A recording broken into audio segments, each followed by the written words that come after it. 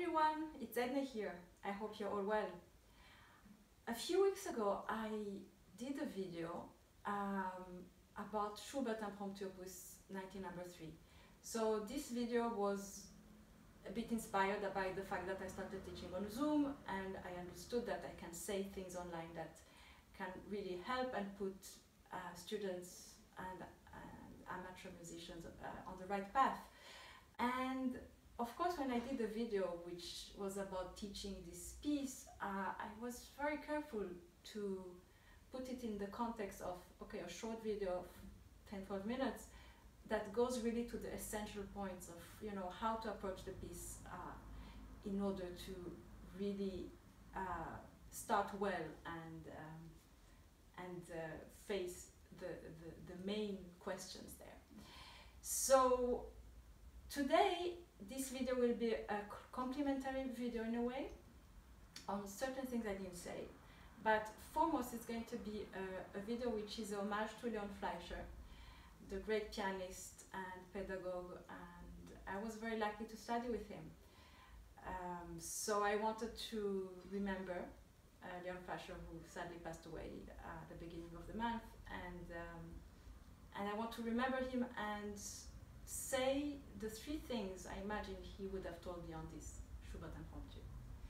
So I'll start with uh, probably his favorite expression, uh, one he used in every single lesson. And that expression was support the composer. One way to do that for him was, uh, he said, stay longer on the long notes and go forward on the shorter notes. So in this Schubert impromptu, it really works well. Um, and for example, the opening phrase, uh, you would stay longer on the long note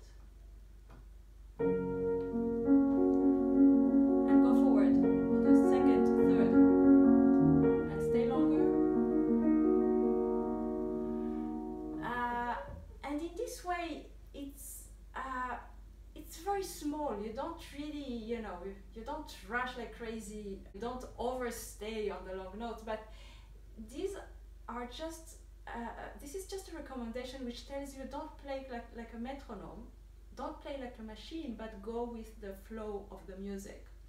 And I find it very important, especially nowadays, to remember that, um, you know, that tiny irregularities actually uh, are very musical.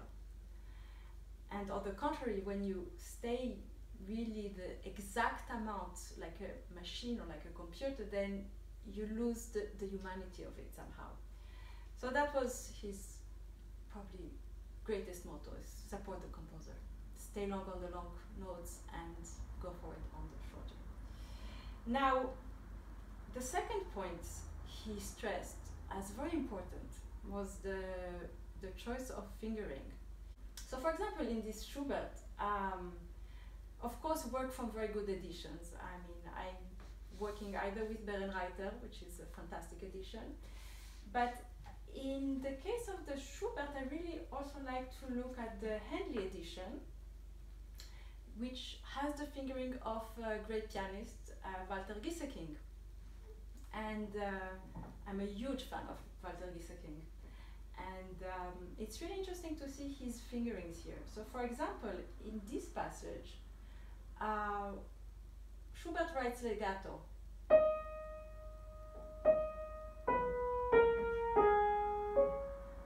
Now, of course, it's, it's, it means you have to do it with the fingers. Usually what you get uh, as a proposal is to use five, into five, four and three, which uh, makes sense. Um, now, when there is the repeat, um, this is actually also the the the fingering that is often proposed, but Gieseking has a very interesting proposal here, which is glide. So glide five five.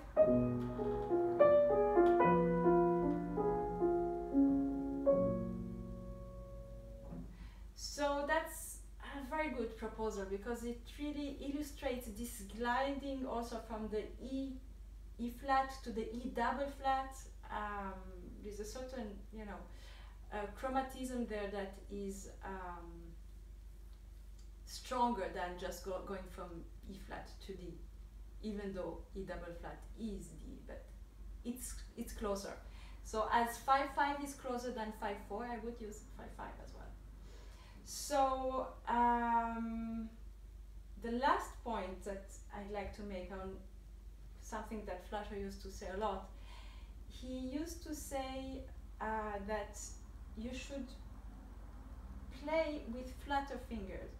So his metaphor was okay when when you want a more caressing sound, you should use flatter finger, not so round fingers.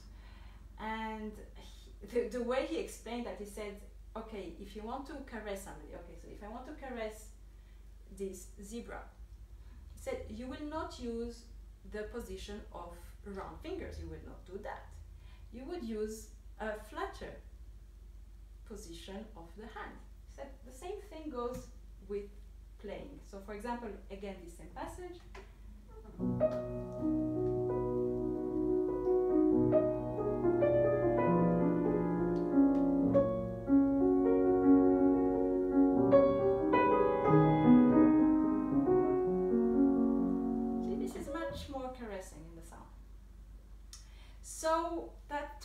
Three things uh, I imagine Leon Fleisher would have told me.